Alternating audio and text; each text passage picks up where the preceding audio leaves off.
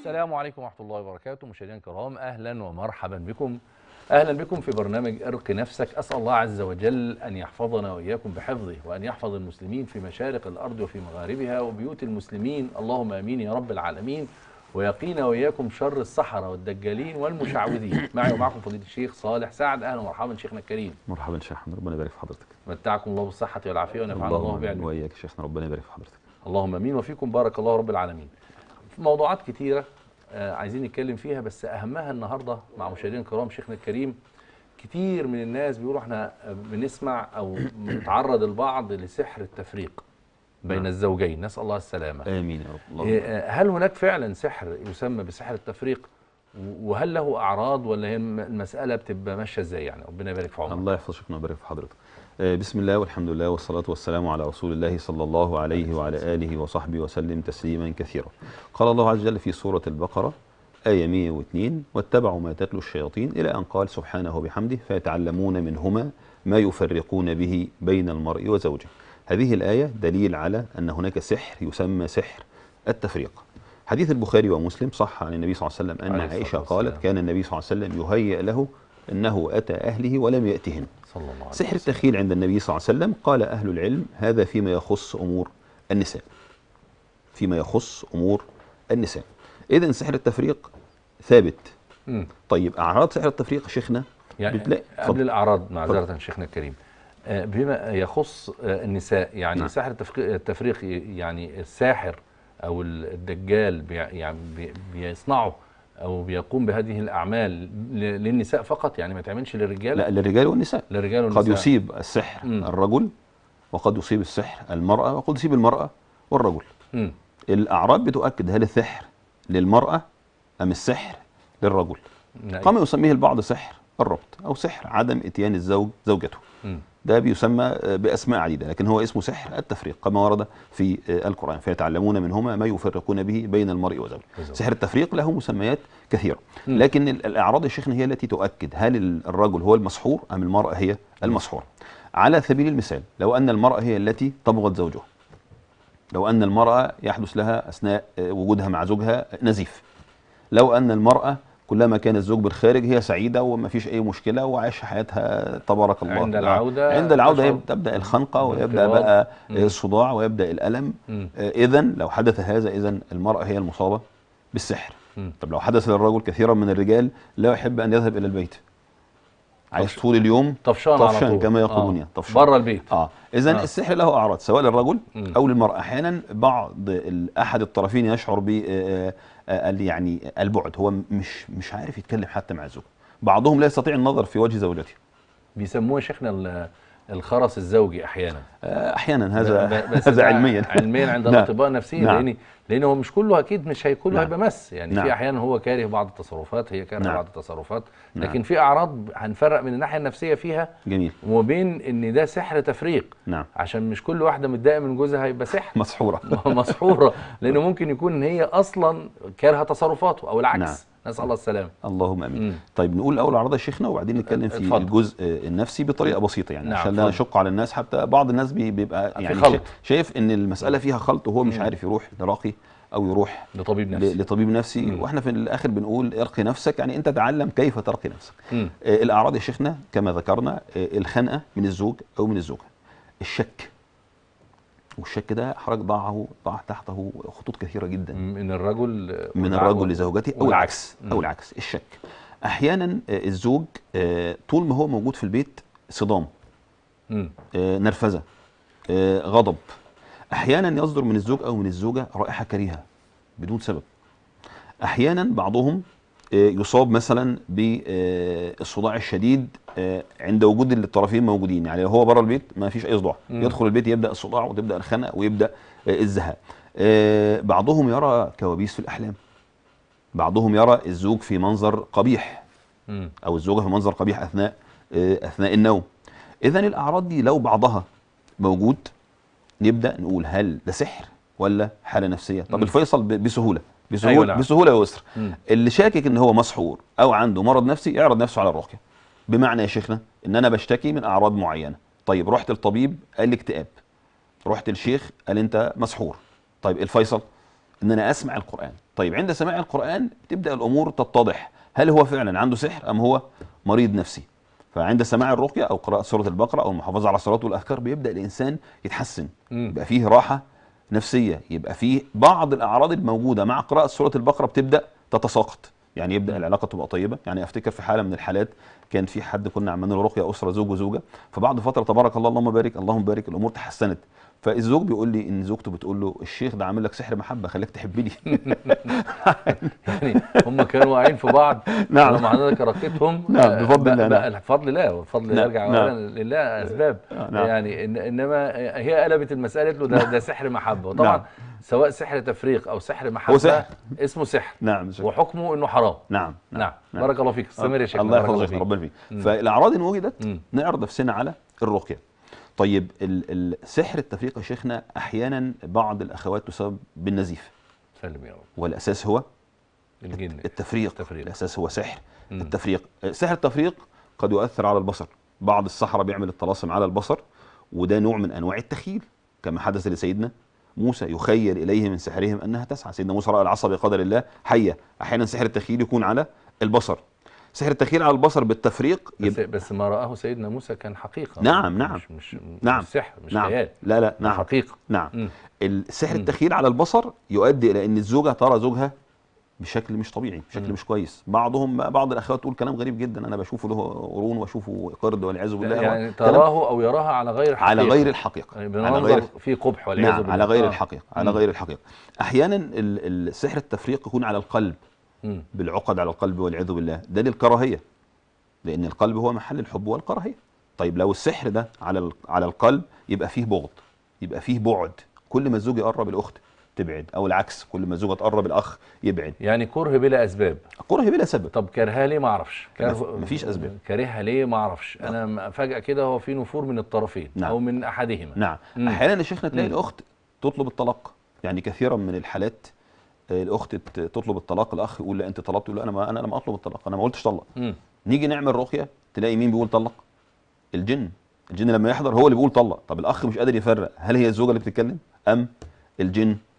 طيب لو تكلم الجن وقال طلق الأخ بيتسرع أحيانا. هي اللي طلبت الطلاق. فاحيانا تحدث أمور كثيرة جدا لما نيجي نتناقش فيها. لا أنا ما عملتش. يعني ممكن الاخت تتصرف تصرفات معينة. مم. طيب الزوج يقول لها أنت عملت كذا؟ تقول له أنا ما عملتش. طب إزاي؟ أنت قلت كذا. لا أنا ما قلتش. في فلا- إنكار. نعم في. في إنكار. مم. فحضور الجن على الجسد بيخلي الإنسان يتصرف تصرفات وده ثابت. حضور الجن على الجسد كما نقل آه، ابن تيمية وابن القيم وغيره من أهل العلم أن دخول الجن أو حضور الجن على الجسد وقال بالنص دخول الجن الجسد لا ينكره أحد من أهل السنة بل هو ثابت باتفاق أهل السنة دخول الجن الجسد. فحاله الدخول اذا الجن يتكلم بما إنه دخل يعني دخول ك... يعني ال- الجن يسكن داخل جسم الإنسان؟ نعم. ده ده ده, ده مس حقيقي ولا مس بيبقى حقيقي. تأثير من الخارج؟ مس حق لأن في ناس بتقول إزاي آه، يعني يعني دول ثقلان. فازاي كيف يدخل هذا في ذاك؟ يدخل في عالم وده ليه عالم وده ليه عالم فازاي ي- يحدث المزج؟ لكن نكمل الأعراض وبعدين نناقش المسألة دي. اذا هذه الأعراض وغيرها بقى كثير جدا يا شيخ. يعني مثلا على سبيل المثال إن المصاب بسحر التفريق تلاقي مشاكل مع الأولاد تلاقي الأخت أو الزوجة أو الأم تنفعل جدا على الولاد تضرب في الولاد. مم. طب تضرب فيهم ليه يا ما هي مش عارفة إن إن إن هي إيه السبب في الضرب؟ تنفعل على الزوج أحيانا والزوج ينفعل عليها. آه، آه، ال- ال- المشكلة ممكن تكون في مشكلة كبيرة بسبب حاجة تافهة جدا. طب وأنت مش متحمل لي كلمة دي كما تقول الأخوات؟ هو مش متحمل كلمة والأخت نفس الأمر برضه. حاجة تافهة جدا ممكن تحل بكلمه بسيطة لا يحصل فيها مم. مشكلة كبيرة. طيب الأعراض دي إن وجدت يبقى فيه سحر. تفريق طب سحر التفريق ده زي ما قلت لحضرتك لو هو موجود أحيانا قد يكون موجود على العقل أحيانا قد يكون موجود على القلب أحيانا قد يكون على الرحم والعياذ بالله وقد يتسبب أحيانا في الإسقاط. قد تسبب أحيانا سحر التفريق. هو عايز الجن يفرق بأي وسيلة سواء كان بالبغض أو بالكراهية أو بالنزيف أو بالإسقاط أو بعدم الإنجاب أحيانا بقدر الله عز وجل إن قدر الله عز وجل ذلك. وما هم بضارين به من أحد إلا الله. بإذن الله. نعم نعم. اذا. السحر التفريق له أنواع كثيرة جدا لكن هو المسمى سحر التفريق. ال- الجزئية اللي حضرتك ذكرتها في موضوع دخول الجن. المس المس المس آه. طيب إحنا عندنا نوعين من المس يا شيخ. كما يقول أهل العلم في مس حقيقي دخول الجن الجسد وفيه مس خارجي مم. في مس خارجي الأدلة على ذلك كثيرة جدا قال الله سبحانه وبحمده واذكر عبدنا أيوب إذ نادى ربه أني مم. مسني الشيطان بنصب وعذاب العلماء قالوا النصب والعذاب هو الوسوسة والإغواء والفقر وأذى الأولاد لأن الشيطان تسبب في مرض سيدنا أيوب بقدر الله عز وجل. تسبب في أذى أولاد سيدنا أيوب عليه الصلاة والسلام. يبقى هنا مس خارجي. هنا مس خارجي. قال الله عز وجل الذين اتقوا إذا مسهم طائف من الشيطان تذكروا فإذا هم مبصرون. م. طيب اذا هذه الآية يقول بعض أهل التفسير دليل على أن الجن يصرع الإنس ودليل على شدة الغضب ودليل على الخنق. هذه الآية. إحنا عندنا الآية ذكرت في سيدنا أيوب وهذه الآية. عندنا قول الله عز وجل في سورة البقرة الذين يأكلون الربا لا يقومون إلا كما يقوم الذي يتخبطه الشيطان من المس. من المس. قال العلماء هذه الآية دليل وحجة قوية جدا على دخول الجن الجسد. عندنا ثلاث آيات تؤكد على دخول الجن الجسد. عندنا قول الله عز وجل في سورة الجن إنه كان رجال من الجن إنه كان رجال من الإنس يعوذون برجال من الجن فزادوهم رهقا. قال مم. العلماء الرهق هو الخنق الذي يؤدي إلى الصرع. الخنق هو الذي يؤدي إلى الصرع. الجن يعمل خنقة للإنسان ويبدأ من الخنقة دي يحصل مسألة الصرع وابن القيم قال الصرع صرعان صرع من الأرواح الخبيثة أي من الجن والشياطين وصرع مرض عضوي آه زيادة صرع. كهرباء في الجسم مرض نعم يعني. والقرطبي. والقرطبي عليه مم. رحمة الله وغيره من أهل التفسير قال آية الربا دليل على فساد إنكار من أنكر دخول الجن الجسد القرطبي قال هذا الكلام. قال هذه الآية آية الربا دليل على فساد إنكار من أنكر بدخول الجن جسد الإنس عندنا قول فساد الرأي يعني نعم فساد الرأي فساد القول نعم. قول لا، فاسد من- من وجهة نظر أو رأي نعم. آه، ال- الإمام القرطبي نعم رحمه وابن. تيمية عليه رحمة مم. الله نقل ال- ال- الإجماع مم. قال آه، إجماع أهل السنة والجماعة بدخول الجن آه، جسد الإنس عندنا قول الله عز وجل في سورة الناس قل أعوذ برب الناس م? ملك الناس إله إله الناس ها من شر الوسواس الخناس الذي يوسوس في صدور الناس في صدور الناس قال أهل. التفسير آه. قال أهل العلم في الصدور معناها دخول الجن جسد الإنس الوسوسة من الداخل. وقال ابن القيم عليه. رحمة الله إذا اشتدت غفلة الإنسان ولج الشيطان القلب. يعني ال- المس نعم. أو دخول والعياذ بالله ال- الشيطان جسد الإنسان م- بعد إذن الله عز وجل متعلق بغفلة الإنسان. الإنسان اليقظ اللي اللي عنده أذكار وبيحافظ على الصلوات وبيقرأ القرآن وسورة البقرة ومتحصن. نعم. يعني إلا أن يشاء الله. نعم نعم. ما أنا قاريها في عينك. نعم. وأنا عايز أقولها. إلا أن اتفضل. يشاء الله. لأن نعم. ممكن واحد يعمل كل ده. نعم ويصاب بقدر الله. ويصاب بقدر نعم. الله. يعني نعم. ليس بالمس لكن وهذا- بما شاء الله. وهذا قول بعض أهل آه العلم نعم. أن الجن قد يصيب الصالح والطالح. مم. يعني قد يكون إنسان محافظ على الصلاه لكن ربنا قدر ذلك لكن. يرجى سلامة الصالح نعم بإذن من. هذا المس بإذن بإذن, الله. كل تعالى شيء بإذن الله وجل. يعني بإذن. وما, نعم. وما ربك بظلام للعبيد اذا هذه الآيات الخمس تؤكد على دخول الجن الجسد مم. طيب السنة هل في أحاديث في السنة تؤكد على دخول الجن الجسد قال بعض أهل العلم في حديث النبي صلى الله عليه وسلم إن الشيطان. يجري من ابن آدم مجرى الدم في العروق في العروق. قالوا هذا مس داخلي اذا الشيطان داخل مم. الجسد حديث النبي صلى الله عليه وسلم لعثمان بن العاص رضي الله عنه عندما جاء النبي صلى الله عليه وسلم وقال يا رسول الله الصلاة إني أرى في صلاتي يعني في شيء بيحدث له في الصلاة لا يدري ماذا صلى. النبي صلى الله عليه وسلم عليه الصلاة والسلام. تفل في فمه وقال أخرج عدو الله. يخرج منين يا شيخنا؟ من جسدي. من الجسد. هذا دليل على مفهوم ال- الخروج. لا ظاهر ظاهر. ظاهر النص أن آه. الجن داخل الجسد النبي قال أخرج عدو الله. خرج الجن. طيب عندنا أيضا حديث النبي صلى الله عليه وسلم في. حديث ال- المرأة التي جاءت بابنها الصبي قالت يا رسول الله والذي بعثك بالحق منذ أن ولد وهو يخنق. يعني من أول ما اتولد هذا الصبي وهو يخنق. تفل النبي صلى الله عليه وسلم في فمه وقال. أخرج عدو الله فإني رسول الله. دي أحاديث ثابتة صحيحة. نعم ثابتة صحيحة بإذن الله. مم. هذه هي بعض الأدلة التي أوردها أهل العلم في مسألة دخول الجن الجسد. عندنا أيضا حديث عطاء. قال قال لي ابن عباس ألا أريك امرأة من أهل الجنة؟ قال نعم. قال هذه المرأة جاءت للنبي صلى الله عليه وسلم وقالت يا رسول الله إني أسرع وأتكشف. فالنبي صلى الله عليه وسلم خيرها بين أن تصبر. ولها الجنة وبين أن يدعو لها. قالت أصبر يا رسول الله لكن ادعو لي ألا أتكشف. بعض العلم قال هذا الحديث دليل على الصرع. وهذا الحديث في البخاري دليل على صرع الجن للإنس. لكن ال- الحديث الأخير البعض يقول ما الدليل على أن هو يعني هذا صرع مس؟ نعم. ما ممكن يبقى تأثير من الخارج؟ لأن نعم. بعض أهل العلم أيضا نعم. يقولون بالنفي يعني ينكرون لم يقل هذا إلا المعتزلة المعتزلة نعم آه، وفي في في زماننا هذا بعض من ينكر نعم. آه، يعني يقولون إزاي ده عالم وده عالم وإزاي جسد يدخل في جسد نعم. والبعض أنا سمعته يقول إن إنه بيخترق الهالة نعم. اللي حوالين جسد الإنسان آه، فبيأثر فيه فبالتالي ممكن يأثر على يعني كهربة المخ على نعم. بعض الأمور فبيصاب بكذا أو يصاب بالشلل المؤقت أو ب- بالعمى لا قدر الله أو يشعر ب- بأن أعضاؤه لا لا يستطيع آه، أن يتحكم فيها. السؤال الذي يطرح نفسه. ممكن أقول حاجة يا شيخ؟ اتفضل يا مولانا. في قول الله عز وجل نعم. فزادوهم رهقا. قال بعض أهل التفسير الرهق هو خفة العقل. الرهق هو خفة العقل. إذا هذا الكلام يؤكد على أن الجن يؤثر فيه في عقل في عقل الممسوس سواء كان مسا خارجيا امم أو مسا داخليا يخليه بيعمل تصرفات غير طبيعية نعم. يعني. شيخنا مم. القضية دي عندما تطرح الذين ينكرون هذا طيب إحنا القضية عندنا الهدف عندنا الإنسان يكون سليم صحيح سليم يا رب طيب اذا يا شيخنا هل اللي يهمنا إن الشخص يبقى سليم ولا إن المس داخلي ولا خارجي طب لو أن الجن داخل الجسد والإنسان بفضل الله يصلي ويصوم ويتعبد الله عز وجل وحياته تبارك الله اللهم بارك زي الفل. أظن إن في ناس كده. آه في ناس كده. آه. طيب اذا القضية مش قضية دخول وخروج. امم المس سيدنا أيوب أو تسبب الشيطان في اذى سيدنا أيوب. ضرر فظيع جدا يا شيخ.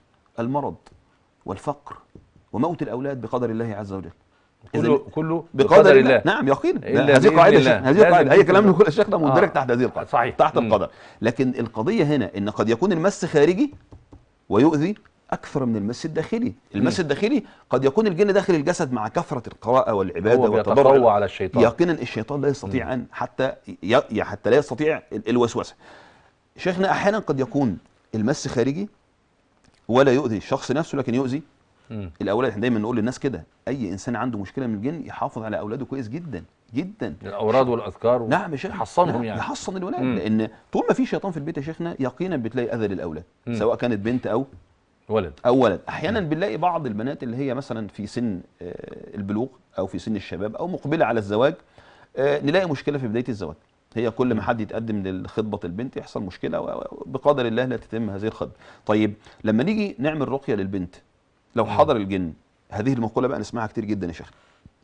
الجن بيقول جملة كده مشهورة. لما نقرأ على بنت صغيرة يقول إيه أحيانا؟ الجن. اتفضل. البنت دي أنا معاها من وهي طفلة صغيرة. يعني إيه يا شيخنا يعني هو موجود قد يكون مع الأم؟ الجن. قد يكون مع الأب؟ قد يكون في البيت أصلا مس خارجي موجود. موجود ويصيب الأولاد ونيجي نشتكي بعد كده البنت مش عارفة تتجوز. يعني بيقولوا اللي هم بيقولوا عليهم ساكنين في البيت مثلا بيقول لا هذا غير العمار. ده غير العمار العمار. مع القراءة خلاص بفضل الله ينصرف آه، بإذن الله. بسم الله بيخرج بإذن الله. بياكل بسم الله ما بياكلش. بإذن الله كله بي بينفض الفراش. سنة نعم، النبي صلى نعم، الله عليه وسلم صلى الله عليه بطرف وسلم. الثوب نعم. قبل النوم نعم. أذكار الصباح المساء أذكار النوم نعم. كده. هو بيقول لي معايا ثلاث دقائق لا حول ولا قوة الوقت بيجري بسرعة. ال ال الأعراض دي كلها شيخنا. عشان نعم. الناس برضو لا تتوهم ولا تخاف من الجن أو المس يعني آه، هل بتأخذ في العلاج وقتا طويلا؟ يعني الإنسان لو لا قدر الله أصيب بهذا المس سواء كان خارجيا أو داخليا. نعم. آه، آه، إن سلمنا بهذا وهكذا. الوقت بقى يعني هل يأخذ العلاج وقتا طويلا أم مجرد رقية مرة مرتين مع المحافظة على الصلوات؟ يعني الوقت بيكون قد إيه؟ من بيده من بيده الشفاء مولانا؟ الله. ربنا قدر الشفاء قد يشفى ولو ذهب لساحر والعياذ بالله. وهذه فتنة. امم يعني بعض الناس لا يذهب للطبيب ويأخذ الأدوية ويشفى بإذن الله عز وجل. نعم بالله. بعض الناس يذهب مرة يعني في بعض ال ال الإخوة والأخوات يأتي مرة ونقول له واظب على كذا كذا كذا خذ هذا البرنامج امشي عليه. قراءة سورة البقرة إلى أذكار قيام الليل الاستغفار الحوقلة آه، قراءة الرقيه صباحا ومساء حافظ على ابعد عن الذنوب والمعاصي بفضل الله هي مرة واحدة. بفضل الله يشفى. بإذن الله بإذن الله. وارد إن أنا آه، آه، أقرأ مرة واثنين وثلاثة وأربعة وعشرة وربنا ما يقدر الشفاء. وهذا دليل خير. مم. إذا اشتد البلاء م? فعظم الأجر سواء كان في الدنيا أو في الآخرة. يب- على الإنسان أن يصبر كما قال النبي صلى الله عليه على وسلم قدر دينه. نعم كما قال النبي صلى الله عليه وسلم للمرأة السوداء اصبري ولك الجنة.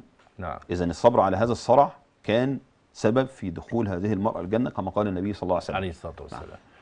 يبقى آه، آه، مسألة الشفاء هذه من عند الله عز نعم. وجل. و- وإنما هي أسباب. المع... ال- الشيخ الذي يرقي أو هو الذي يرقي نفسه أو زوجها يرقيها أو هي ترقي زوجها أو يرقي أحدهما آه، يعني ابنائهم نعم.